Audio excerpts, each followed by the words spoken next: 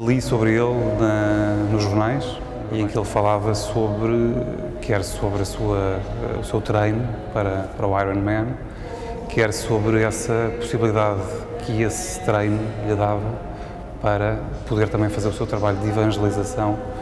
junto dos, dos outros corredores e poder também uh, falar de Deus, que é a sua principal função enquanto padre. O trabalho de padre que ele faz aqui acaba por ser uma coisa pessoal uh, com cada um, às vezes durante a corrida, uma pessoa eu lembro que estava aqui um amigo meu que dizia, ah, tenho um filho que não foi batizado, eu gostava de batizar, e o Ismael entra e combina o batizado, uh, mas não, não vem para aqui com o objetivo de... Não, acho que faz isso de uma forma muito natural, até quando o ouvimos falar, ainda hoje estávamos a trocar ideias sobre, sobre o que é que pode ser a homilia de hoje, mas sempre de uma forma muito tranquila, muito natural, muito humana, que eu acho que é o que o caracteriza. Ele tem uma prova agendada, era o que nos acontecia tem um, ligam-lhe, olha, Mel, um funeral, e ele nunca consegue dizer que não, já não vamos à prova, aconteceu várias vezes isso, já não íamos à prova porque ele tinha, tinha a vida dele, não é a profissão dele de padre, e ele era incapaz também, em primeiro lugar está a vida de padre, não é o que ele diz. O, o desporto é um complemento, é um hobby, é um refúgio dele, eh, a corrida, tanto que ele agora descobriu-se muito na corrida, ele quase já não passa um dia sem correr, não é? Uns pedem para casar, às vezes nem consigo ter lugar na agenda para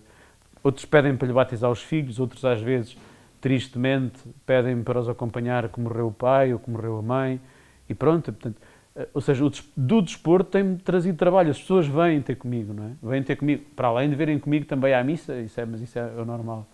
É mais normal, não é? Portanto, o, o desporto dá-me prazer e dá-me trabalho também neste sentido, como, como padre, não é? E acho que realmente ele não consegue viver sem o desporto, porque ele já passou por vários, não é? Eh, acho que a mais caricada foi o Rebi, porque ele deixou, devido às lesões que eram, não eram lesões, eh, as negras, não é? Que ele aparecia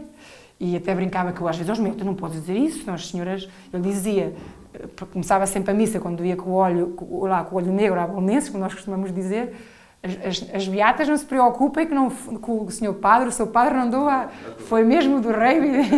está tudo bem. Tanto que eu fui ver um jogo do rei e não fui ver mais dei por mim lá no meio do campo, fui expulsa, porque vi, vi toda a gente em cima do mano, o mano a gritar e eu fui para lá.